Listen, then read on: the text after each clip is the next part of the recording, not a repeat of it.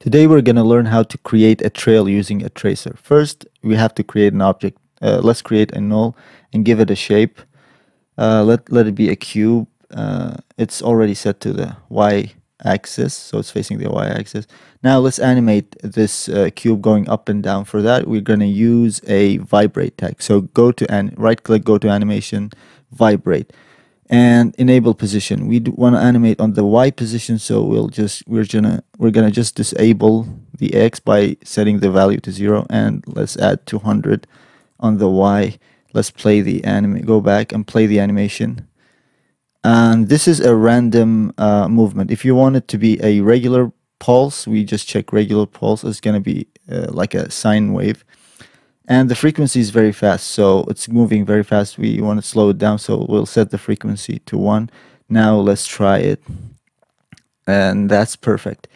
And with the null selected we go to select a tracer. This will automatically add the null uh, into the trace link option which is what we want.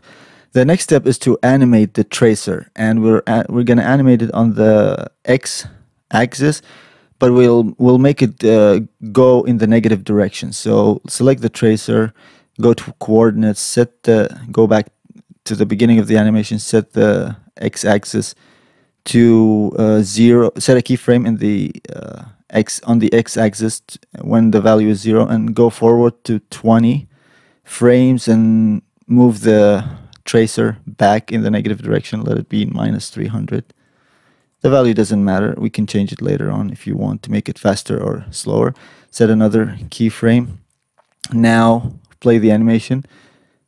Uh, but the tracer and the trace you'll see that the tracer is going to stop and we want to animate it indefinitely so for that we're just going to go to the dope sheet select the position keyframes and first let's make them linear because they're uh, they're curved so uh, you'll see what I mean and then change the uh, after. So after the animation, we want it to continue. So change the after to offset and repeat and go back to the beginning of the animation and play it.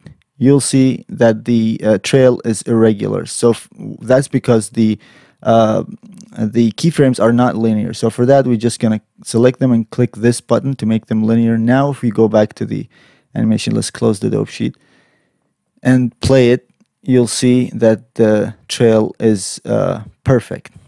Now, if you want to limit the trail uh, uh, from from the end, so you select the tracer and go to Object and uh, set the limit to uh, from end and add some keyframes. Let's add like 30 or 20, 31 keyframes.